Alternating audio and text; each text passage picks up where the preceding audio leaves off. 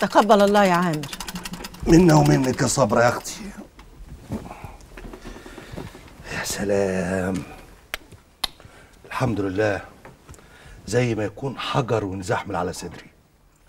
الصح مفيش أحسن منه يا عامر. ربنا يكرمه آدم. هو اللي نصحني بالصح. أنا لسه بديله دلوقتي في صلاتي إن ربنا يكرمه ويحافظ عليه وينجيه من المحنة اللي هو فيها دي.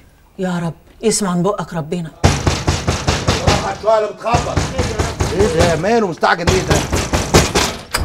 آدم فين؟ إيه ده يا ساتر رب أنتوا مين؟ أنت اللي مين؟ أنا خاله. اخرس خالص. إيه؟ خش هاتولي كل اللي جوه دول. إيه ده؟ في إيه؟ يلا. في إيه؟ إيه ده؟ في إيه؟ إحنا عملنا إيه يا بيه؟ في أنتوا ما عملتوش. ابنكم هو اللي عمل. عمل إيه؟ إيه؟ واخدنا على فين؟ أوعى.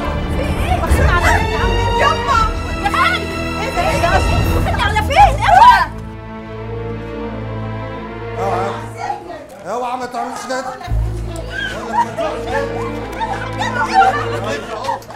تزقش بقول طب راح عليه. طب طب تضرب إيه؟ بتضرب ليه؟ بقول لك بتضرب ليه؟ إيه يا عندي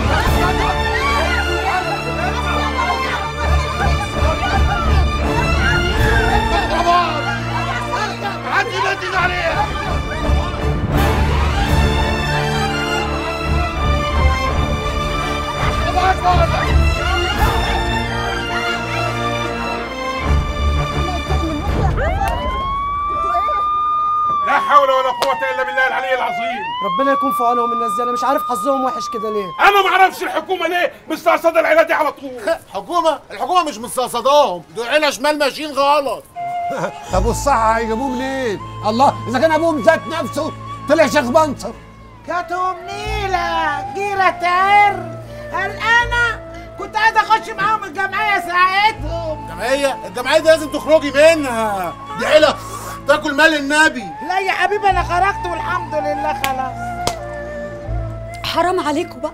حرام عليكم ارحموني كفاية. أنتوا بتحاسبوني على إيه؟ انكم غلط. انت شايفة إنك لما تشاوري على أبوكي وتقولي لهم امسكوه ده صح؟ أبوكي سرق ورشى ودلس ومن حق المجتمع إنه يحقق معاه. ولو ثبتت ادانته يتعاقب. مش هو لوحده يا حبيبتي اللي هيتعاقب.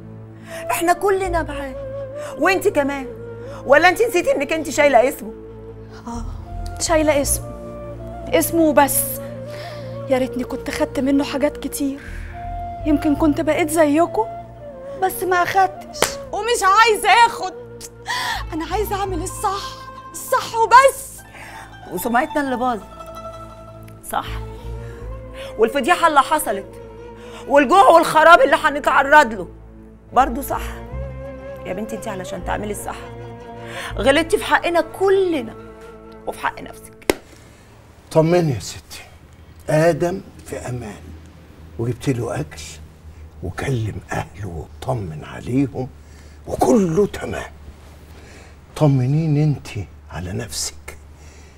عملت إيه لما استدعوك في الاسم؟ ده كان موقف صعب قوي يا بابا. حصل إيه؟ سألوني إيه علاقتي بالقتيل. أكيد. أمال هم هيستدعوك ليه؟ المهم أنت قلت إيه؟ ولا حاجة. قلت لهم إن هو كان عميل عندي وأكدت على إني كنت رايحة أخد منه آخر دفعة فلوس ليا. آه بس قلت إن أنا رحت قبل الميعاد اللي أنا رحت فيه بساعة علشان يبقى منطقي إني ما شفتش الحادثة. حال. كده تمام قوي اوعى يكون بان عليكي أي حاجة. معرفش. بابا هو إحنا هنفضل مخبيين الحكاية على البوليس لغاية إمتى؟